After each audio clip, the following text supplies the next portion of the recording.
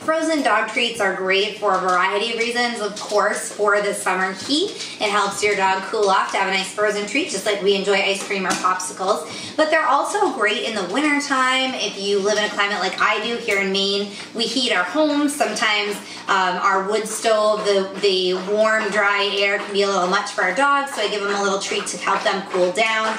And our dogs actually just love frozen treats year round. They uh, change it up a little bit so it's not just a plain old dry biscuit or a regular chew. It's uh, a nice mix with the frozen treats. So um, this is one of my favorite frozen dog treat recipes that includes mashed sweet potato.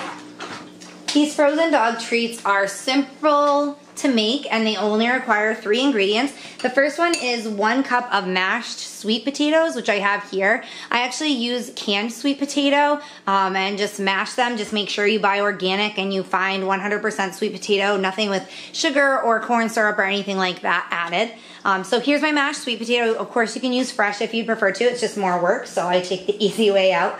Um, I'm gonna add about a half a teaspoon of ground cinnamon to those and a quarter of a cup of low-fat milk.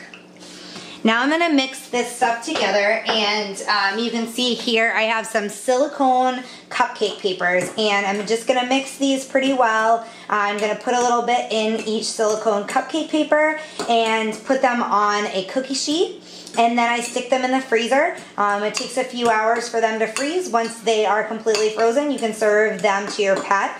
Um, our dogs love these, like I said, on a hot summer day or um, just any time for uh, a unique treat that kind of changes up their normal diet.